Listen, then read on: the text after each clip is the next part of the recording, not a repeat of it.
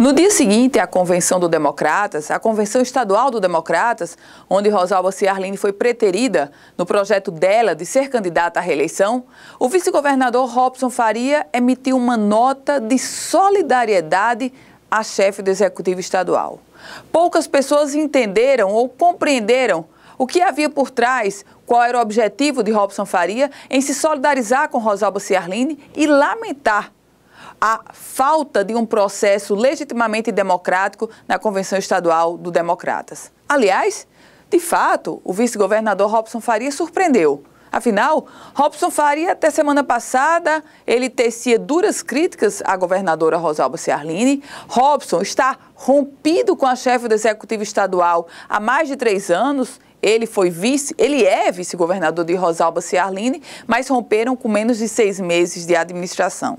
De repente, com a governadora literalmente fora do baralho das candidaturas ao pleito deste ano, Robson Faria emite uma nota pública, se solidariza com ela e lamenta o fato dela ter sido preterida pelo partido, pelo Democratas, presidido pelo senador José Agripino Maia. Trazendo à tona agora a nota de solidariedade de Robson Faria, nós não deveríamos nos surpreender.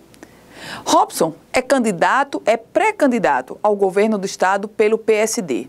Rosalba Ciarline é governadora do estado uma das grandes líderes políticas da cidade de Mossoró, da região de Mossoró, e, portanto, independente do alto índice de desaprovação da gestão Rosalba Ciarline, independente de Rosalba ter sido preterida pelo Democratas, ela permanece sendo uma líder política e tem sim seu colégio eleitoral, seus votos. O que Robson Faria fez com aquela nota de solidariedade foi já focar nos votos de Rosalba Ciarline nos votos, nas intenções daquelas pessoas que são lideradas de Rosalba Ciarline e agora ficaram, teoricamente, sem um pré-candidato, já que a chefe do executivo não será candidata à reeleição. Robson Faria, se solidarizar com a chefe do Executivo Estadual é, na verdade, uma intenção não apenas do cidadão Robson, mas principalmente do pré-candidato Robson Faria, que está de olho nos votos que seriam dirigidos para Rosalba Ciarline. A grande incógnita nesse momento é porque em política a transferência de votos é algo extremamente complicado e difícil.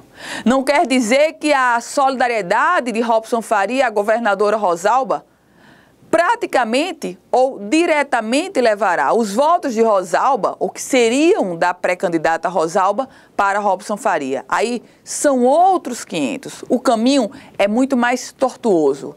Esse colégio eleitoral de Rosalba Ciarline, que votaria, ou que é liderado da chefe do Executivo Estadual, esse colégio eleitoral, ele ainda está flutuante. As pesquisas ainda não trazem decisivamente para onde eles migrarão pretendentes a esses votos não, fa não faltam.